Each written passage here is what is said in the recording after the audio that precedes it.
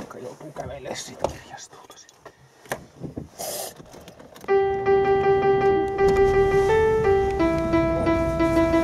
Moi Jesse! Töff.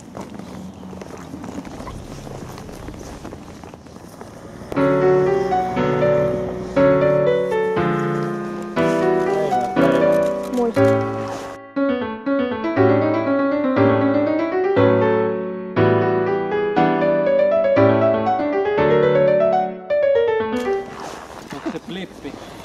Joo.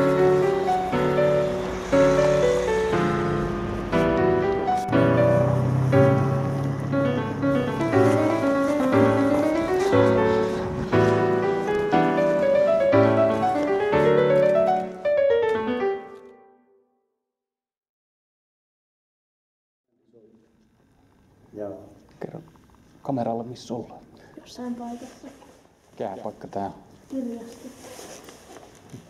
Minkä takia? No kai tää on kirjasto sen takia, että täällä on kirjoja.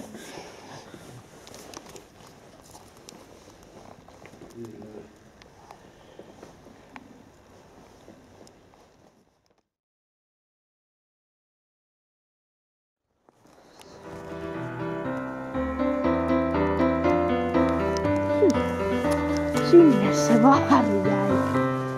Kun nelikymppinen joon. Tuntuu, siltä, että nelikymppiset alkaa jo muuttua semmosiksi, että ne ei enää jaksa kauhean hyvin sillä liikkua. Oho.